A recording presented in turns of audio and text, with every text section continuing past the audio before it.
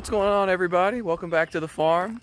So this morning I am going to be working on, I'm putting together a PVC watering system for the chickens. So I'm going to be using PVC pipe and poultry nipples to build a couple big watering stations. I'll put one in each run and so I'll have something that'll hold significantly bigger volume than the little one gallon water that I have right now. And the weather hasn't really even gotten that hot yet and they're getting through that gallon just about every day. So this will just be uh, making a little, little less maintenance out there for me. So I'm going to load all my supplies up into the truck and I'm going to head over to my dad's house. His shop's a little bit more conducive space-wise to being able to lay out all these big pipe pieces. So we'll see you over there in a minute. So the first thing I'm going to do is I'm going to drill all my holes for all of my nipples. So what I did is I went down the pipe here and I made a mark every foot. So I'll drill all my holes in the top here and then I'll come, I'll do the same with the next piece of pipe. Put it in this jig here to make sure it stays nice and straight. Keep all the holes in just about the same place.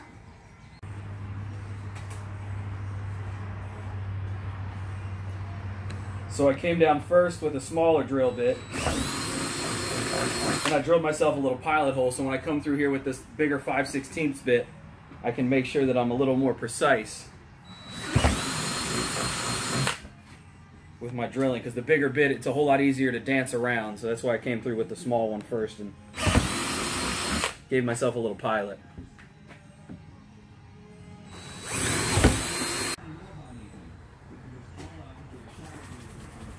Now that my holes are drilled, I'm going to come through with this little sanding block and I'm going to knock all the burrs off.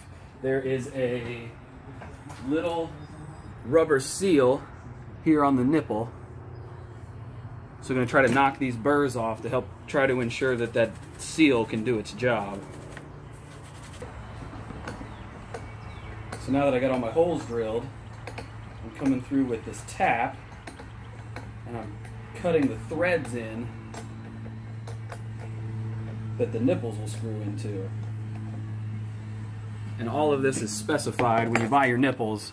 It should come with a little cheat sheet that'll tell you what size holes to drill, and what size your tap needs to be.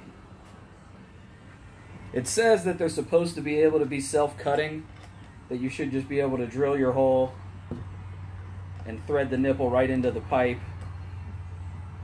Maybe if you have super hand strength or something, but I didn't have any luck with that, so we went ahead and found the right the right tap for this and just make it a little easier.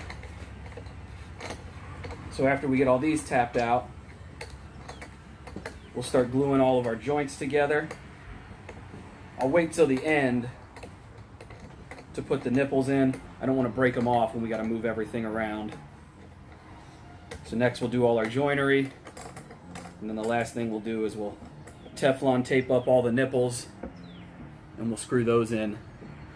And then we'll give it a little pressure test. We'll put some water in it and see if we're leak free. So just to show you real quick, like I said, you know, eventually we'll we'll Teflon tape these all up before we put them in for real. You see, once the when the threads are cut, they screw right in, no problem.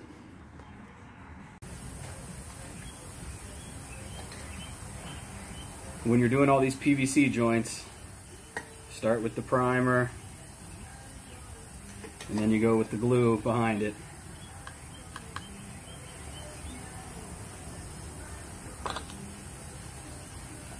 they just slip together.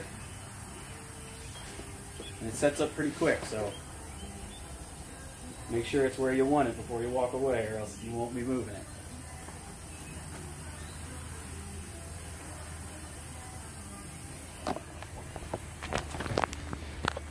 See, we got the elbow installed, little piece in the middle, and then here is our two to four inch, and then our big four inch reservoir will come up right here.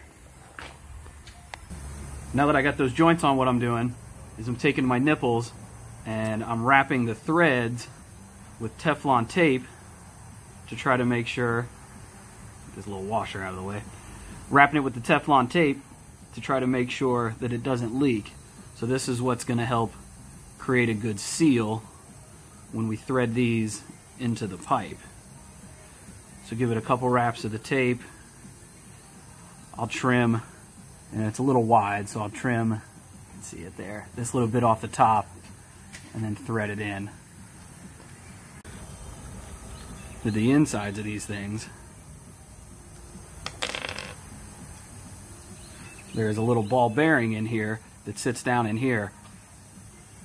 So when this plunger lifts, it's lifting up that ball bearing, and that ball bearing is what creates the seal inside of this. So the water pressure holds the ball bearing down, and when this uh, gets hit, it breaks that seal just a little bit. And then there's a plunger on top that's a secondary seal. So when that ball bearing gets moved, focus, that ball bearing lifts that other plunger, and that's what lets the water come through just a little drip out at a time. So kind of inevitably, when you're working with plastic, one of them broke.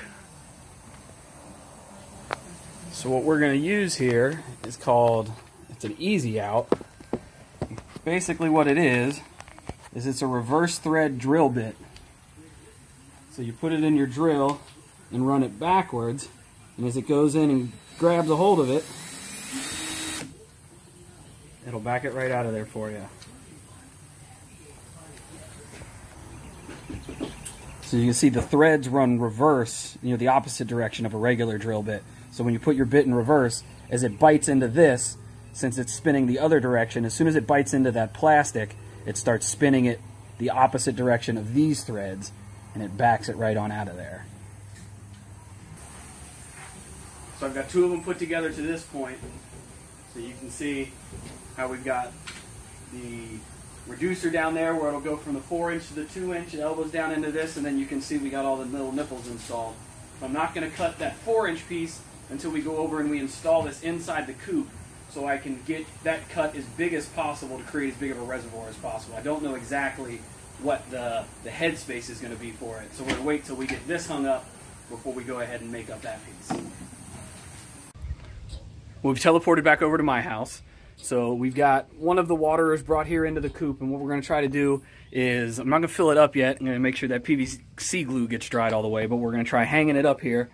We're using these pipe hangers.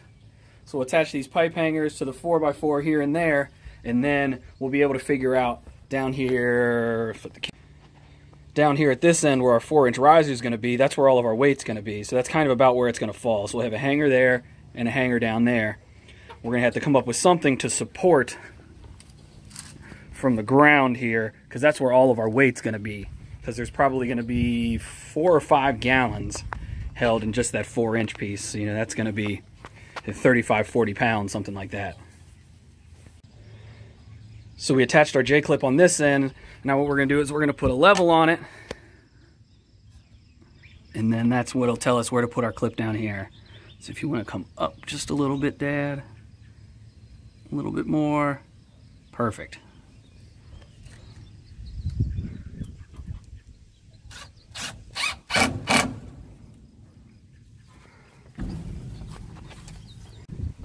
So now we've cut this four inch piece at, I think it was like 44 inches. Not connected yet, the wind keeps blowing it over.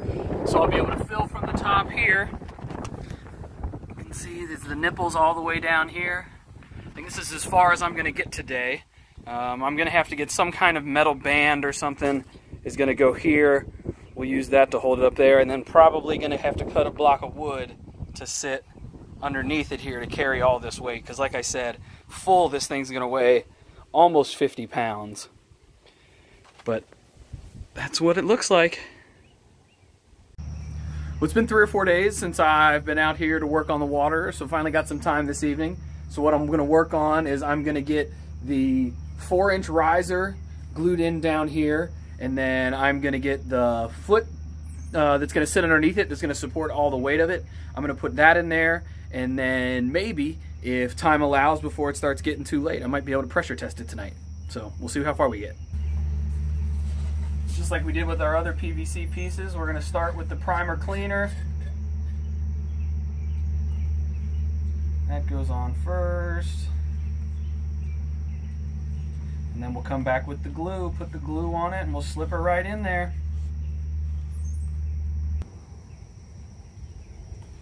Now the glue.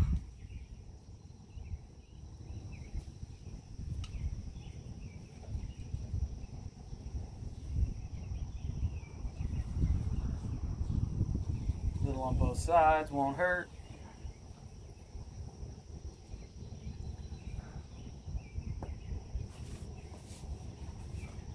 Slip her on in there. Hey, Mr. Pablo. Did you come out to help? Did you come out to help? Come here. Yeah, right, Dad. So I've got some of that metal banding that I was talking about. Um, this was normally you would use is it would hang pipes kind of from joists. So you know it would come up high and a pipe would sit in it like this. I'm going to use it to hold the pipe tight to the wall here and then I'll probably use another piece down at the bottom to tie it onto that foot once I get that foot cut.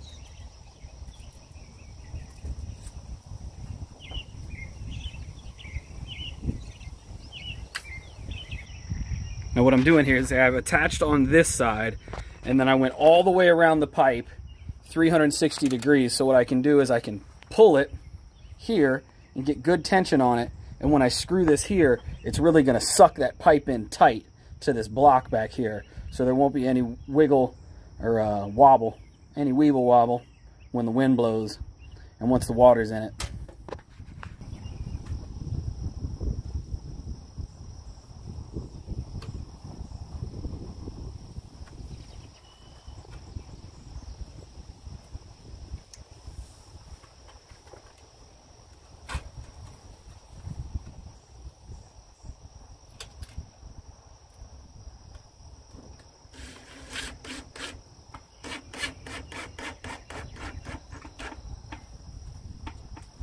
That's not going anywhere. And what you can kind of accomplish once you've got your screws in, you've got it pretty tight. When you go to put a second screw in, this one here, it pushes this slack in and it really gets this just tight as can be. And you can see I did the same thing over on this side. When you shoot this screw in here, focus, when you shoot this screw in here, it pulls any little bit of slack that there might have been in this out. And so this is really, really solid now. We all know why you guys are really here. You want to see the ladies.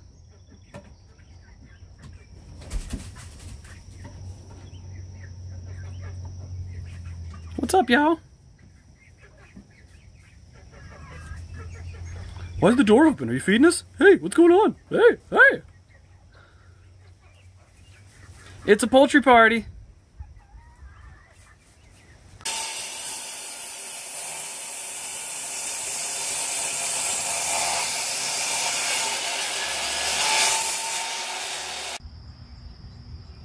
I got the foot put in. It kind of seems like it's going to be a little bit overkill, actually, now that I'm, I've got it all together. And this band up here, I was not able to get this pipe to budge at all. It's holding it so tight, but I still went ahead and, and put this post down here at the bottom and went ahead and put the band on it. The band is kind of just holding it in place, and then it's just sitting on the ground here. So I'm thinking I'm probably going to wait until tomorrow before I go ahead and put some water in it and do a little bit of a pressure test on it just to make sure that that glue can go ahead and get set up all the way. So we'll check back in sometime tomorrow. Well, tomorrow has turned into today. I've carried out a few gallons of water, dump them in here, and we're gonna do a little pressure test, see if all of our nipples are sealed up tight, and make sure all our joints are sealed up tight, no leaks. Here goes nothing.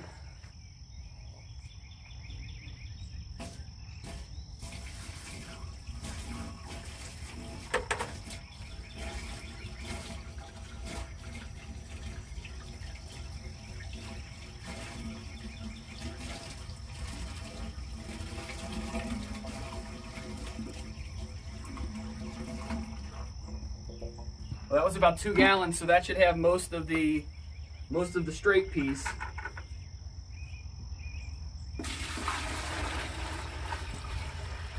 Add a couple more just for good measure, and then we'll check it.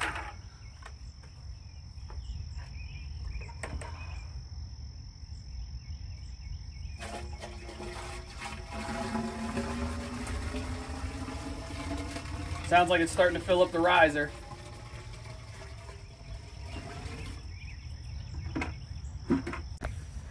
We're looking pretty good.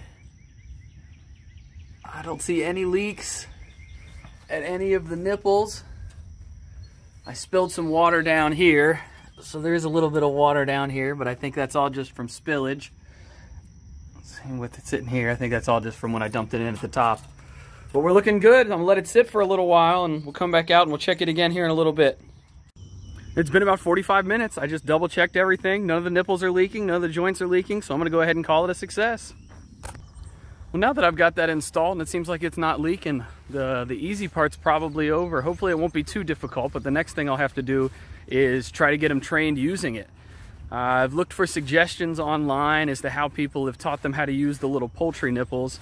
I've seen use a laser, you can shine a laser pointer on it. You know, they'll chase after a laser pointer, so you can shine a laser pointer on it. Put a little dab of peanut butter on it, you know, just something to attract them to it. Once one of them gets it figured out, then another will figure it out, and then eventually they'll all get it figured out, is what they say. And it seems like that's true so far.